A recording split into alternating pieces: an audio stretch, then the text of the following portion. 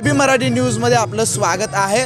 विठुरायाच्या भेटीच्या ओढीनं प्रत्येक भाविक निघालेला आहे. प्रत्येकजण आपापल्या परीनं या ठिकाणी भक्ती करतो आहे. माझ्या या ठिकाणी मावशी आहे डोक्यावरती या ठिकाणी कलश आहे.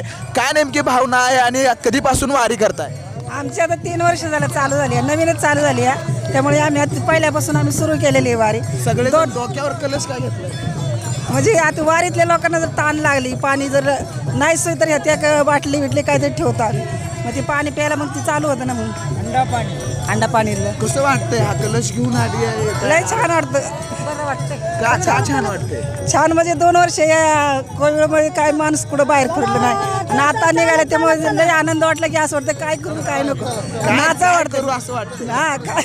नाचो आनंदाने नाचो वाटतं आनंद. कलश डोक्यावरती घेतलाय. तर डोक्यावरती अगदी आ, अर्धाभर तास जरी पाण्याचा हंडा घ्यायचा म्हणलं तर ओझं लागतं नाही नाही एवढं जास्त. पाणी घेतच नाही. थोडं घ्यावं लागतं. म्हणजे आता एवढं भरून काय चालत नाही ना घेऊन.